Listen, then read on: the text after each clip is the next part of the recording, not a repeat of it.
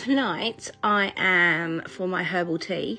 I'm having um, mullein. I've got a bit of a chest infection, and there's no way I'm going to the doctors and asking for some hmm, antibiotics. I'd rather take something natural that I grow myself.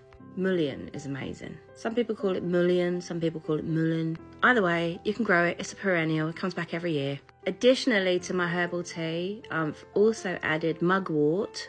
Mugwort is amazing for lucid dreaming. It's a little bit of a, um, well, it's calming, a little bit of a mild sedative as well. I like to think of mugwort as the legal marijuana, you know?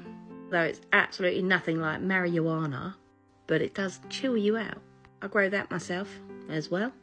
And I've also got lavender in my tea as well, because I do love lavender. And of course, natural honey, local, raw honey. And honey is just the best thing to have in every drink, I think, anyway. So I'm just going to sing a couple of songs now and then I'm going to head off to bed and hopefully have some amazing, vivid dreams tonight. Do a little bit lucid dreaming. It's always good to be in control, it's always good. and hopefully, I'll be able to breathe a little bit better tomorrow. This time of year, man, when it turns to autumn, to fall, the bugs are just the bugs and the viruses, they're thriving. This is like the most beautiful season of the year. I love autumn, I love the colours, but my gosh, doesn't everybody get sick?